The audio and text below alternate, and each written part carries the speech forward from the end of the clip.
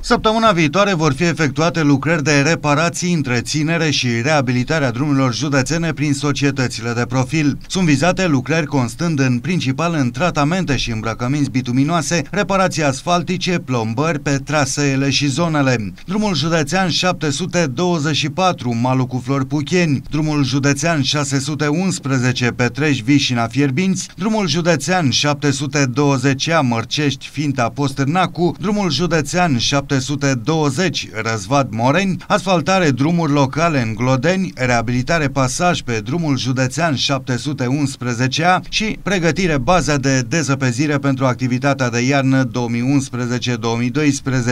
Pe niciunul din aceste trasee circulația rutieră nu va fi oprită, însă Direcția de Drumuri și Poduri a Consiliului Județean Dâmbovița recomandă conducătorilor de autovehicule atenție sporită și reducerea vitezei pe aceste rute, îndeosebi în cazul obiectiv obiectivelor unde sunt în execuție tratamente bituminoase.